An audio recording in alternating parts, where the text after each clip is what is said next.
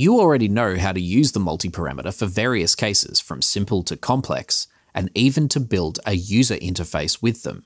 But there are a few situations which may be a bit difficult at first. In this video, we will go through the first one. Problem number one. I want to make a simple compressor in MXXX1 with a dry-wet control, which would disable the compressor when set to 0% to save the CPU power. So I add Dynamics module. Set the threshold and ratio somehow so that it does some compression.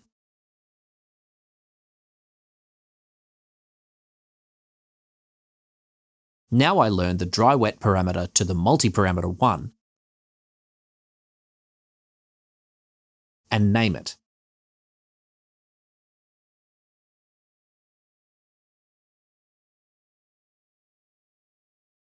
Move it a bit, and it works. But when the value is 0%, it doesn't disable the dynamics module. That's what we're going to do now. First, each module has two switches, enable and bypass.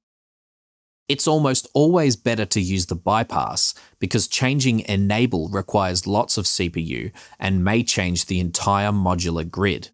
So we will use the bypass. It's important to know that bypassing an effect will lower the CPU only if the module doesn't introduce latency. If it does, we need to disable the smart bypass option first. So let me do that now, just for the sake of demonstration.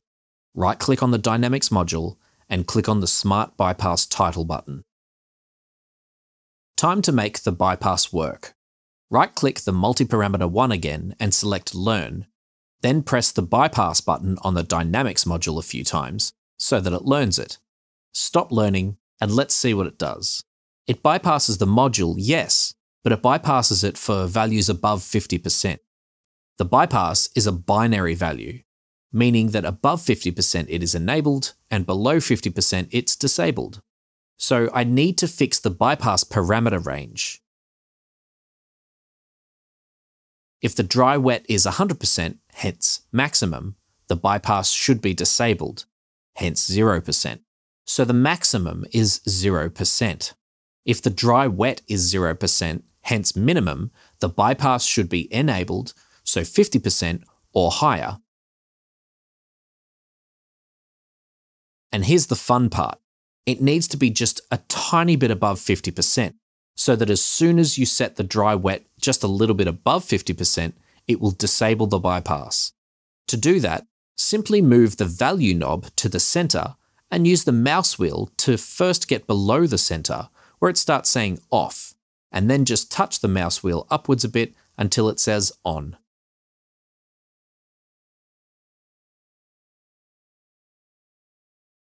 Now it works just fine.